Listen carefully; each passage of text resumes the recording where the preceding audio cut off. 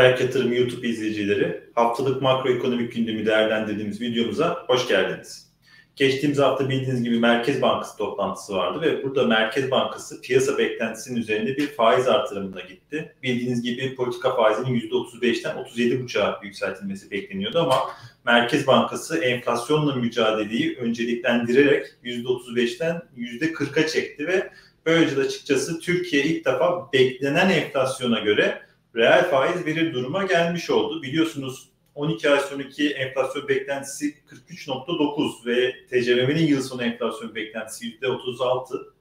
Buna göre bakacak olursak %40 aslında tam bunun ikisinin arasındaymış gibi gözüküyor ama Burada bileşik faize baktığımız zaman çünkü bu haftalık bir repo faizi ve bileşik baktığımız zaman %49'a denk geliyor bu oran. Ve bu da tabii ki de e, hem %43.9'un hem de %36'nın oldukça üzerinde yer alıyor. Bu tabii ki de oldukça olumlu bir karar ve bundan sonra da hani metine baktığımız zaman Merkez Bankası'nın artırımlarına devam edeceği, sadece daha yavaş artırımlarına devam edeceğini anlıyoruz. Çünkü dezenflasyonu sürecin başladığına inanıyor Merkez Bankası ki Ekim ayı enflasyonunda bir miktar yavaşlama görmüştük. Şimdi Kasım ayı enflasyonunda da o doğal gaz etkisinden dolayı belki bir miktar yukarı yönlü hareket göreceğiz ama yine geçtiğimiz ayki enflasyonlara göre bir miktar daha o trendin kırıldığını gör, görmüş olacağız.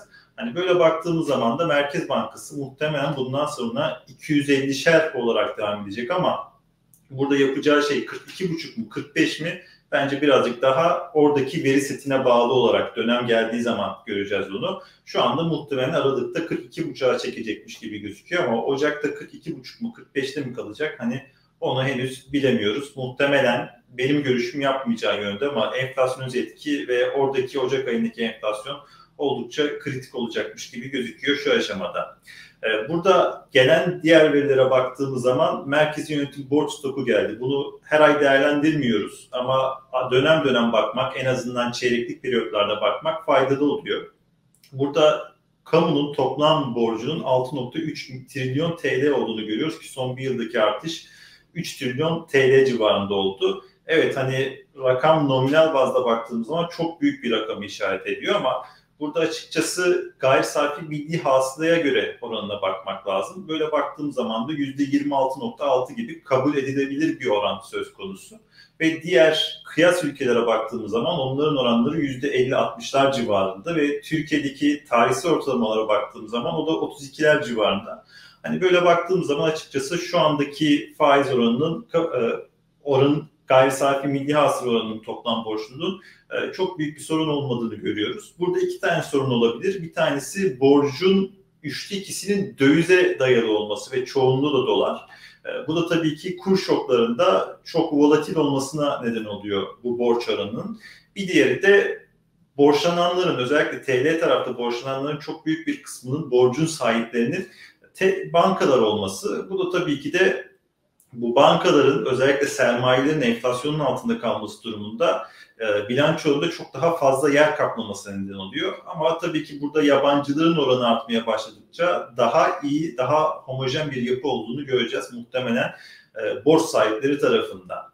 Gelen diğer verilere baktığım zaman parasal göstergeler yine yayınlanıyor biliyorsunuz haftalık ve 17 Kasım haftasına göre hissenin tarafında hafif bir giriş vardı 117 milyar dolar, milyon dolar civarında ama asıl repo tarafında 1.1 milyar dolarlık bir giriş söz konusuydu ve toplam e, dip stoku 4.1 milyar dolara kadar erişmiş oldu. Oldukça olumlu. Hep yabancı yatırımcı gelecek gelecek diyoruz. Hani bu birazcık daha hisseden daha çok Eurobond ve TL tahvil tarafına gelecekmiş gibi gözüküyor ilk başta. Hisse sanki en son gibi gözüküyor. Şu anki yabancı tercihlerine baktığımız zaman ve burada da işte repoda 1.1 milyar dolarlık giriş oldukça olumlu olarak adlandırabiliriz. Bununla beraber Merkez Bankası'nın rezervlerinin de son 9 yılın en yüksek seviyesine yükseldiğini gördük. 135 milyar dolarlara kadar yaklaştı ve haftalık bazda 5.9 milyar dolarlık bir artış var.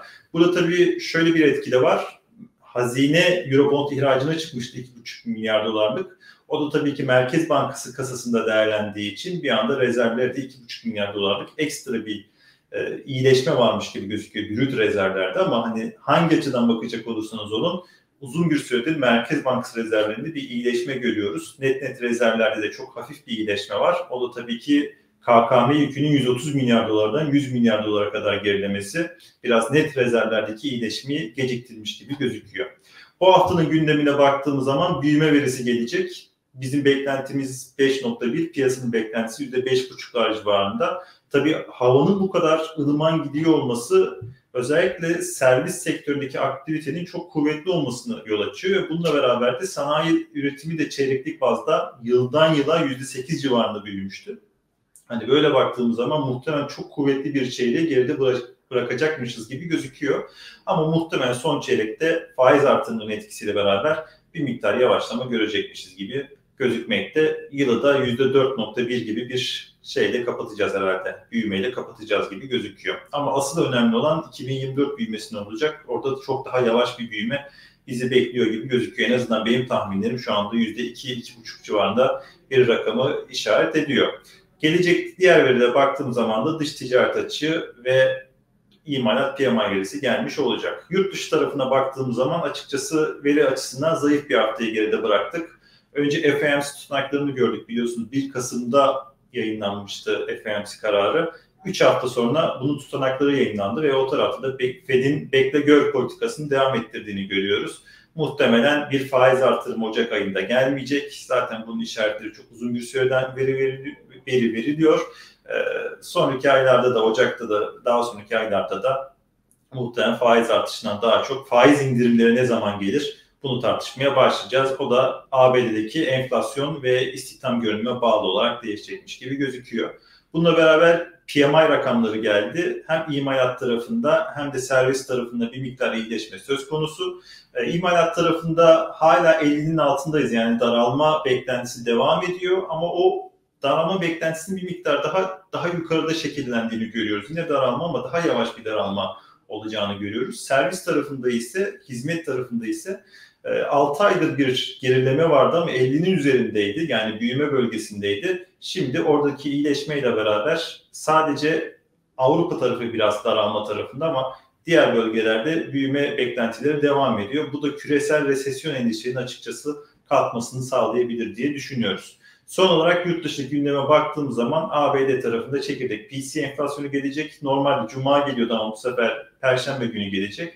Bu tarafta da çekirdek PC enflasyonu 3.7'den 3.5'e gerilemesini bekliyoruz ki bu da Fed'in faiz artırmaması için daha fazla neden yaratıyormuş gibi gözükecek muhtemelen piyasa tarafından olumlu karşılanabilir.